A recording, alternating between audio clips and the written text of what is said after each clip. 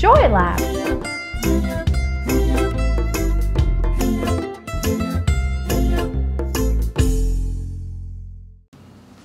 Hi everyone, I'm Tonya.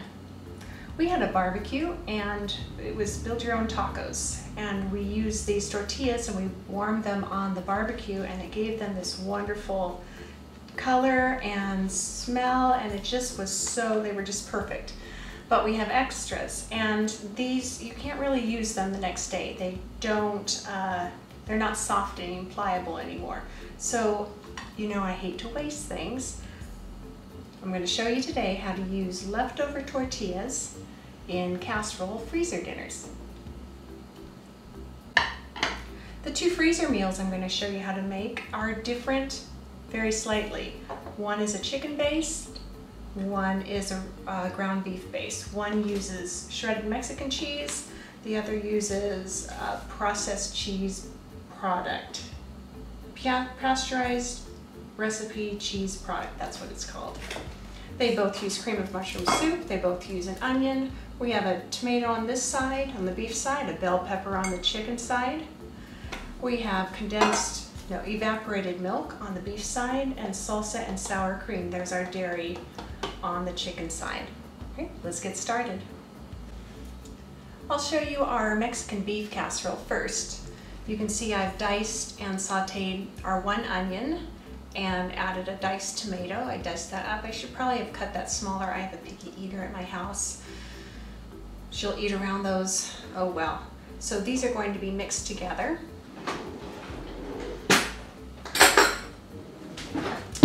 And then we also need to make the sauce with this cheese processed product or whatever, however it's called. If you've never used Velveeta before, if you're turning up your nose right now and thinking, Tonya, I would never use a cheese product, processed cheese product, it's actually pretty good. So don't knock it till you try it. This block is 32 ounces and I need 8 ounces. So there's 32, half of 32 is 16 and 16. Half of 16 is 8 and I'm going to mark this just so I don't forget that we have 8, 8, 8, 8. 8 times 4 is 32. Look at Isn't that fun? We need to uh, make it so it's not just a big cube so we can use it in our sauce for our Mexican beef casserole. We've got our cream of mushroom soup, which is a favorite in casseroles.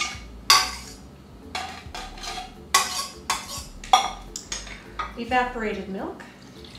There is a difference between condensed milk and evaporated milk, so make sure you follow your recipe properly.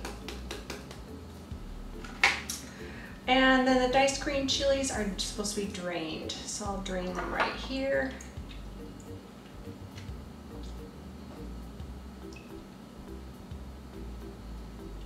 Because that's enough.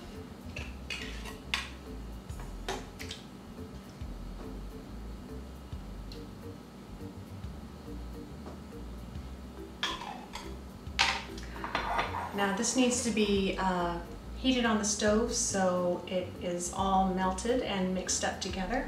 I'll do that and while we're doing that we can build our casserole. I'm using these pans. The recipe is for a 9 by 13. These are 8 by 10.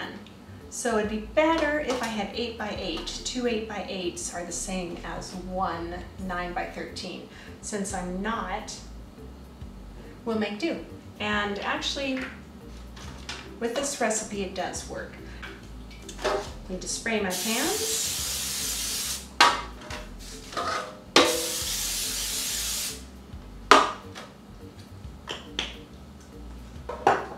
The recipe actually calls for tortilla chips, but instead of that, I'm using up my flour tortillas because remember, I need to get rid of these flour tortillas.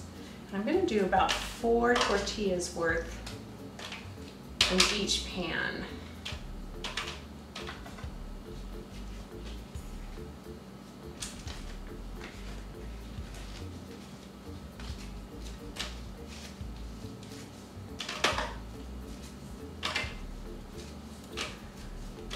Now the cheese sauce, that's two. The cheese sauce is going to soak into these parsley stale tortillas and so that's what makes you able to use them again. That was three.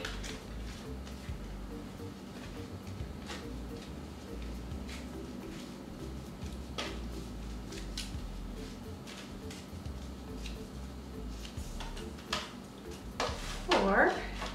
One, two, three, four, and I'll do our other four on this one.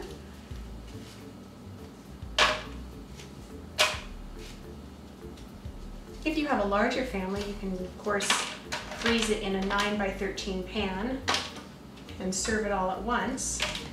My family isn't that large, just four of us, and one of these casseroles is enough for our family, and then we have a couple of lunch leftovers for the next day. If we have company, then I can pull out both of them four tortillas in each. Now I'm gonna put half of the meat mixture over each of them. Make sure I have those onions mixed in, enough.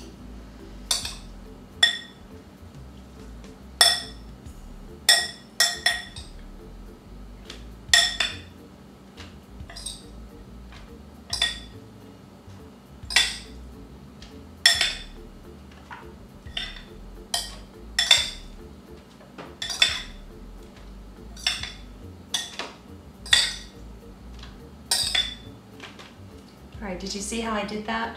One by one in each. That makes, I find that it's easier for me to make sure it's even, evenly distributed that way. And I have about this much left. So now I'll just scoop it out.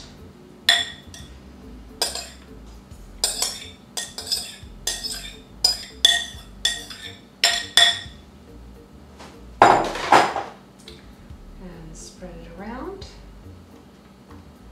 Spread the meat and onions and tomato all around. See what I mean about should have diced the tomatoes more? Oh well. Let's go see if the cheese is melted.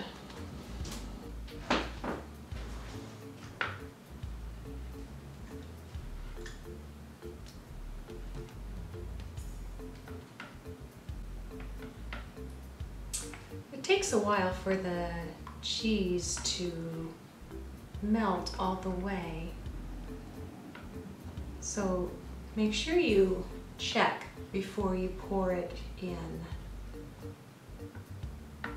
You don't want the cheese all in one bite. All right, so remember this is the cheese product, the evaporated milk, the cream of mushroom soup, and the diced green chilies. Now you'll put it on each and it will, this sauce will soak into those flour tortillas, soften them, and they'll be so good in this casserole. Again,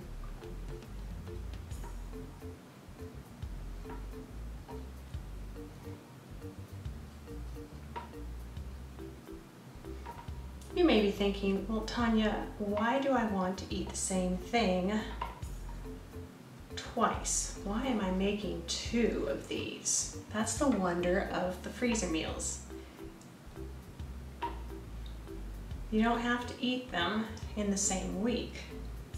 You don't even have to eat them in the same month. You don't even have to eat them at all.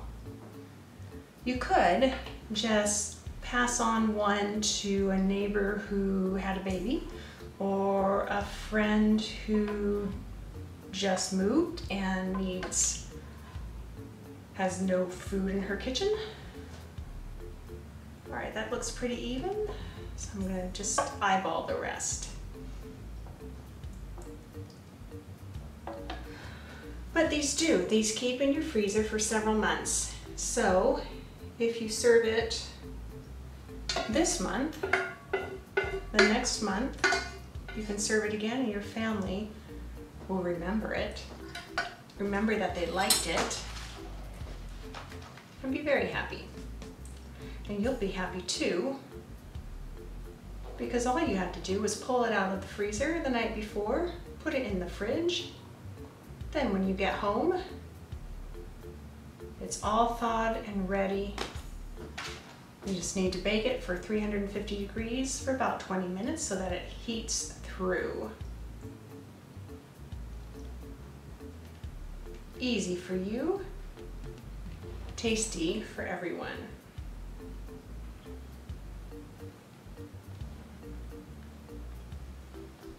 I'm gonna let these cool before I wrap them and freeze them. Now let's do our chicken dish. Now on to our chicken dish. This is a chicken tortilla casserole. Um, and it's almost like lasagna. We're gonna layer it like that.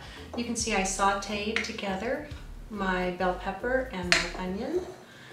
Everything is going to get mixed in with the chicken. This chicken is a different color than just plain old chicken breast because it's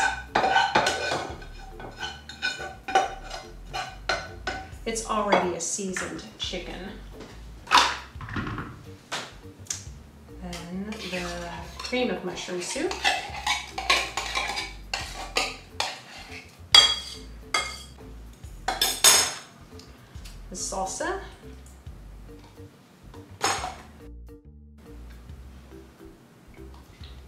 This is two cups and it asks for a cup and a half, but the sour cream makes it taste really good. So I'm gonna just estimate and almost use it all. What do you think? That'll be pretty good.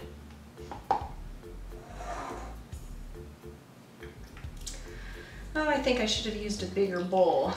It's gonna be easy to spill.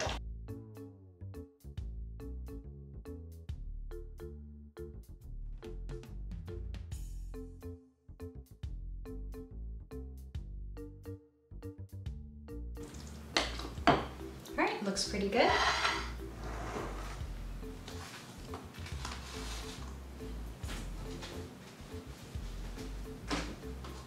This dish also is for a 9 by 13 pan. These are 8 by 10, remember? So I'll just divide it between the two.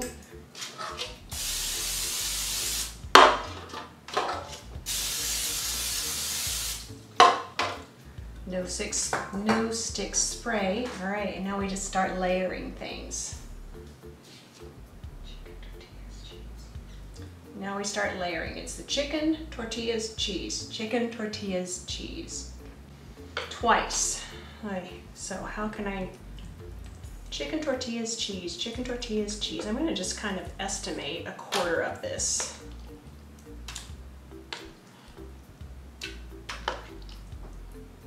That's pretty good.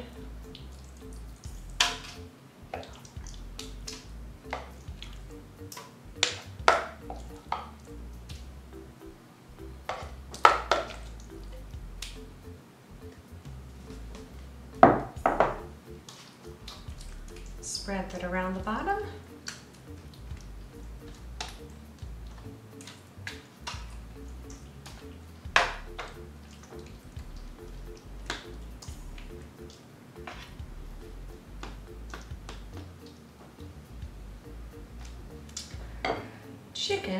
Tortillas, cheese. Now, I've done it where I just open up the tortillas and put them flat. And I've done it where I've torn them up on each layer. Either way works. Chicken, tortilla, cheese, because look, those tortillas go right out to the edge. How much cheese? Cheese is good. But if there's too much, then your dish just comes out of the oven kind of greasy.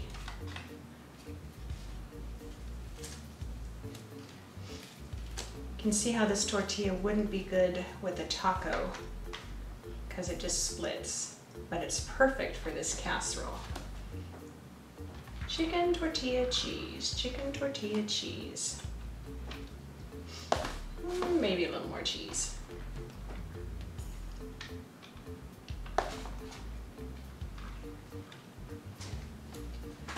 All right, this is our second layer, so half goes on each. Now here it's gonna be harder because I can't push it around with my spoon, so I'm gonna do my scooping method. One each.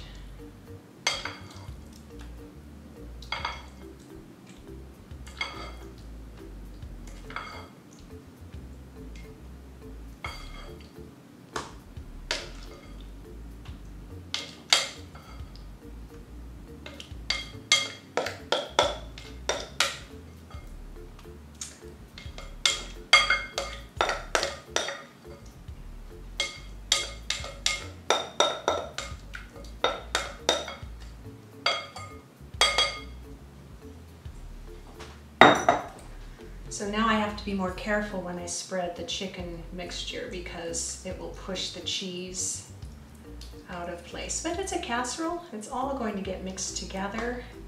The layers will be noticeably and noticeable enough, so we don't have to worry about everything being perfect.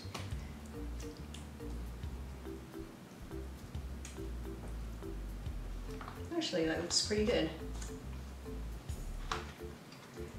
You do want to try to push the chicken mixture to the edges so that the tortilla gets the moisture from that salsa and sour cream. And cream of mushroom soup has the moisture too.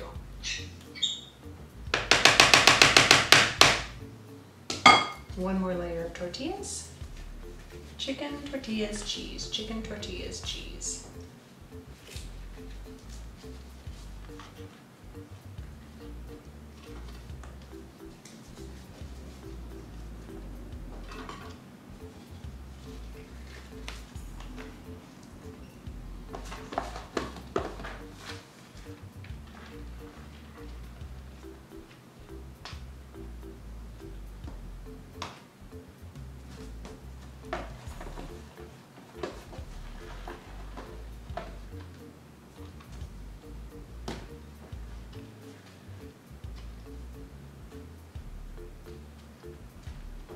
Very good. Ready for the foil. Uh, and it looks like our two beef casseroles are ready in the back. I'll foil these for us.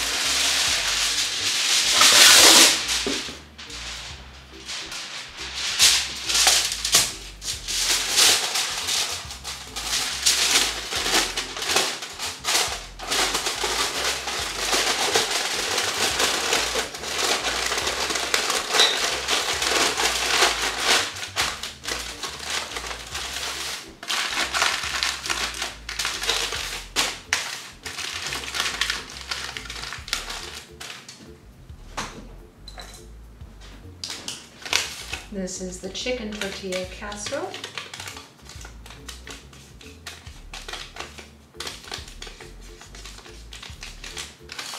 You thaw, then bake, oops, no, uncover. Bake 350 degrees for 30 minutes.